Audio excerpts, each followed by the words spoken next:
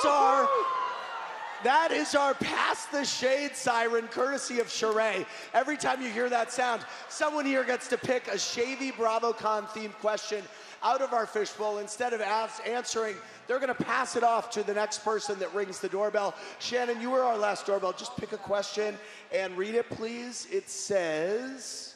Who is the thirstiest Bravo Leb you've interacted with this weekend? Okay, so I wonder who's going to get that question. Straight from the archive, it's Marlo Hampton. Wow, look at this dress.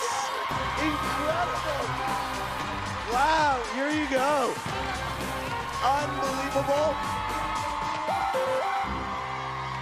Wow, from the archive, I assume. No, but it will be in the archive. Okay, who's the designer? Roberto Cavalli. It's gorgeous. I absolutely love it.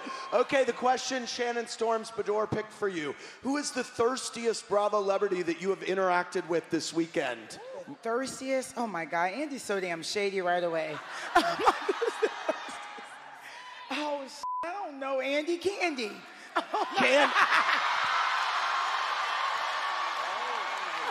She's gonna get me. I'm gonna be in trouble. Thanks for watching. Watch more clips here and subscribe to our channel here. See ya.